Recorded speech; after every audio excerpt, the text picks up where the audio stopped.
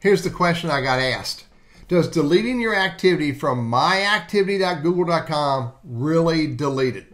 I'll show you what this person is talking about, and then I'll give you the answer to the question at the same time. So if I go to my Google account over here on the right, I click over here on manage my Google account. When I click on that, it brings me here. Under myaccount.google.com, I go down to data and privacy and you come down here and you see here's my history settings. Here's the conversation this person's talking about. This is the data under history settings, web and app activity, location history, and YouTube history. Now you can see I've turned off location history and I've turned off YouTube history. None of that's being saved in my account. However, web activity is being saved. Now, if I click on that, notice it goes from my account, it goes to myactivity.google.com.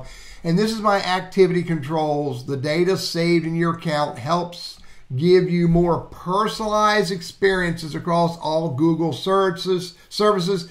Choose which settings will save data in your Google account. Now, not only will it help me with some of what I'm doing, and the app will have some ideas and some recommendations based on my activity, but this also helps the marketing. It helps uh, Google ads, etc., etc., align better with me based on my activity. So you know you can see right down here. Here's manage all web and app activity because I'm in web and app activity. I can turn it off here. I can change some other settings if I want to, but right here is all the data. So this is all of my web and app activity. And again, you can see it's turned on, but I can turn it off. And I've also got it set for auto deletion after three months. So I can search this for something. I could scroll through it to whatever extent I want to scroll through it. Additionally, more importantly, I have the ability to filter by date and product, and I have the ability to delete. I can delete the last hour, the last day, all time, or a custom range of data uh, as well as I can adjust my auto deletion. If I just hit the X on any one of these, um, deletion is complete. Look, I deleted it says deletion complete. The activity you selected is being permanently deleted from your account and no longer tied to you. Learn how your activity is deleted. Click on that.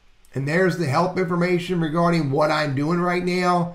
And so this very clearly answers the question. Deletion is complete. It's been permanently deleted from my account. Close this down. And that's all you need to do. Again, whether you individually delete activities, you delete it all, you delete it by a particular date range, you delete by a particular product, you have the ability to delete it and it will all go away. I'm Teddy, your Google Workspace and Gmail guide. I hope this is helpful for you.